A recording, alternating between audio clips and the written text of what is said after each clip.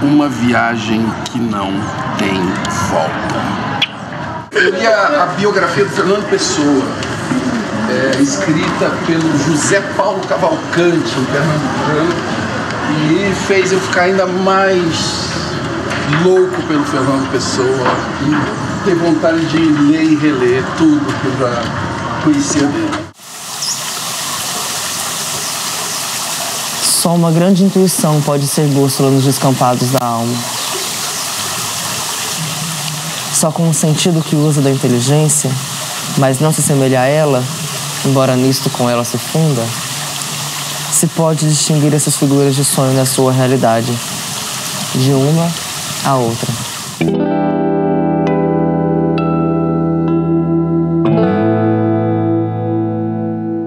Fernando Antônio Nogueira Pessoa, mais conhecido como Fernando Pessoa, foi um poeta e escritor nascido em Lisboa. Foi também empresário, editor, crítico literário, jornalista, comentador político, tradutor, inventor, astrólogo e publicitário, ao mesmo tempo que produzia sua obra literária em versos e em prosa. É considerado assim um dos maiores poetas da língua portuguesa e da literatura universal.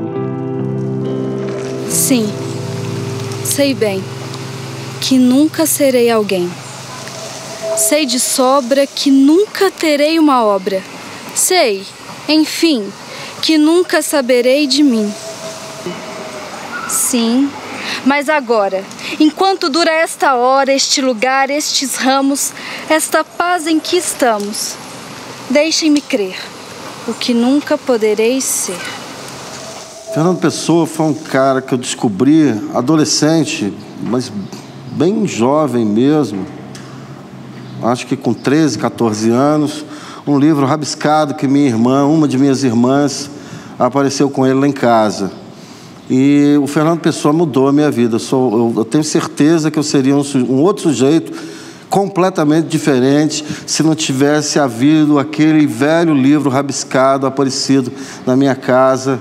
Mas a poesia existe para mim porque existiu esse velho livro de Fernando Pessoa. Fernando Pessoa, para mim, é um, um grande criador, um grande inventor. Acho que um ele foi um poeta, escritor, astrólogo, ele foi muita coisa, mas acho que acima de tudo um grande criador, assim, que, que recriou a si mesmo, eu acho. Criei em mim várias personalidades. Crio personalidades constantemente. Cada sonho meu é imediatamente. Logo, ao aparecer sonhado, encarnado numa outra pessoa que passa a sonhá-lo e eu não. E o que ele falava, a profundidade, a gente não pode deixar de lembrar o quão filosóficos, filosóficas são é, certos aspectos da poesia é, do Fernando Pessoa, né?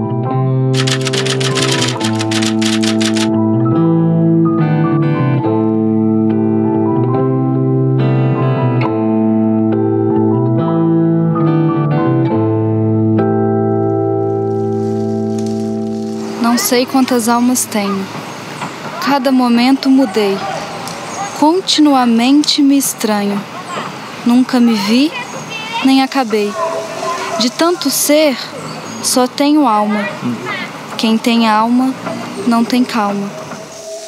O fato é, dele se colocar como outras personalidades, no caso dos heterônimos, eu acho que é até uma, uma forma assim de, de variar nos estilos de, de, escrita, assim, sabe? Então, muito desses heterônimos também, às vezes eu, eu vejo essa, é, essas diferenças, assim, consigo ver um, um poeta simbolista, um poeta é, futurista e, e um poeta nihilista, por exemplo.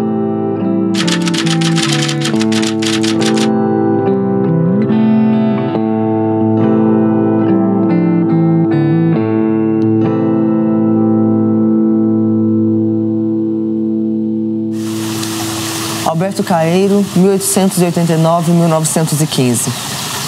Alberto Caeiro é considerado o mestre de todos os heterônimos de Fernando Pessoa. Nasceu em Lisboa, mas viveu quase toda a sua vida no campo. Não teve profissão nem educação quase alguma, só instrução primária. Morreram-lhe cedo o pai e a mãe e deixou-se ficar em casa, vivendo de uns pequenos rendimentos. Vivia com uma tia velha, tia-avó. Morreu tuberculoso.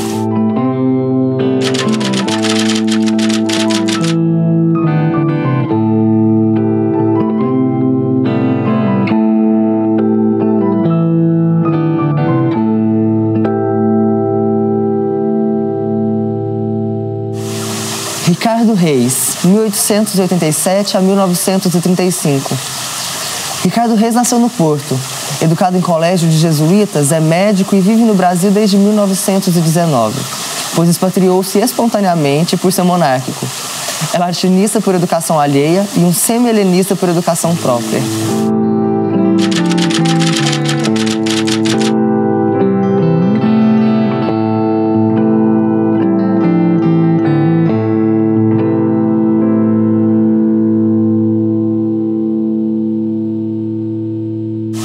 De Campos, 1890 a 1935.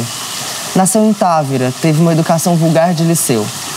Depois foi mandado para a Escócia estudar engenharia, primeiro mecânica e depois naval. Numas férias, fez a viagem ao Oriente, de onde resultou o opiário.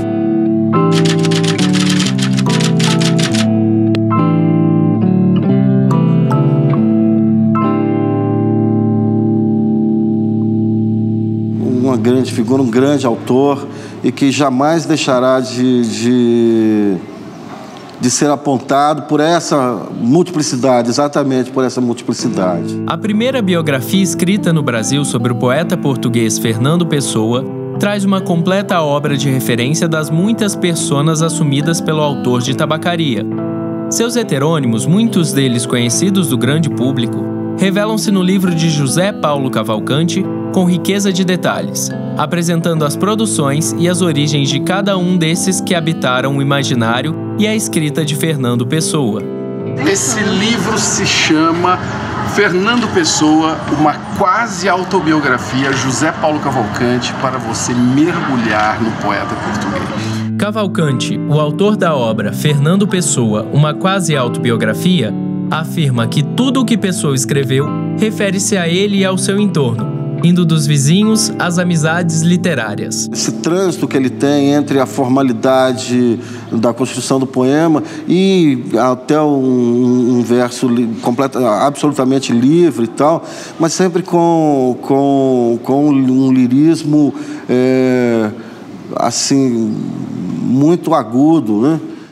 como ele trata da condição humana, de, de, estilos diferentes, de formas diferentes de abordar é, sem ser também muito verborrágico, sabe? De forma simples às vezes e, que te toca por, por frases e pensamentos muito simplistas, assim.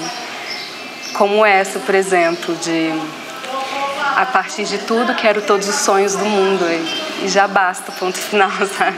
Acho que seria isso.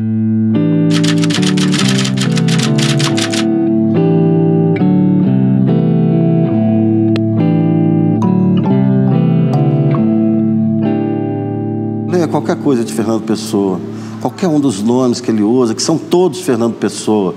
E o Fernando Pessoa é ele mesmo. E eu acho que pode acontecer coisas incríveis com quem toma contato com a poesia de Fernando Pessoa.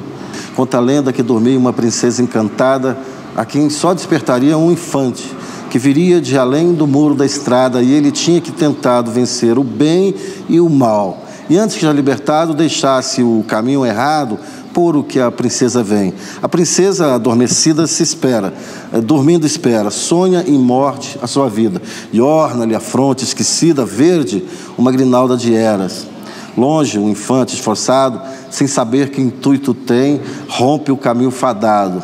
Ele dela é ignorado, ela para ele é ninguém, mas cada um como destino.